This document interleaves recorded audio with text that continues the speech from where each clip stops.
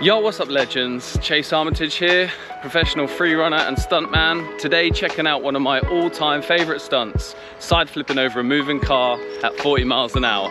Let's go.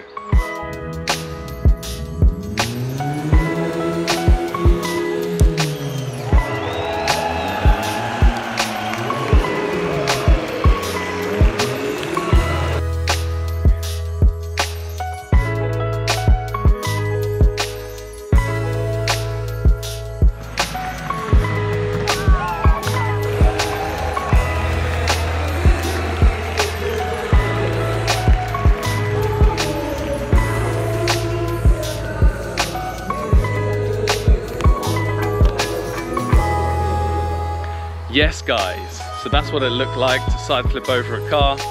Managed to do it 25 times in a total of 10 different countries. It was for the Fast and Furious tour. Um, we traveled around Europe. I honestly don't think I could have done that if it wasn't for one of my best mates, Adam Brayshaw. We basically shared the load. Um, I did two, he did two each weekend. We had to get each other emotionally and uh, mentally fit and ready for it. Um, we'd slap each other on the back to the point where it would sting.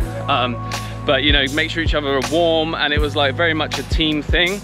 And it's a memory that will live with me forever doing that. It was a dream come true, something I'd always wanted to do. And I got the opportunity to do it in front of thousands of people. So as a stuntman, I honestly think it doesn't get much better than that. That's a true stunt every time, no room for error. And uh, yeah, I'm so proud that we did it. And I think I'd do it again. So I hope you guys enjoyed that one. Until the next episode, peace and love.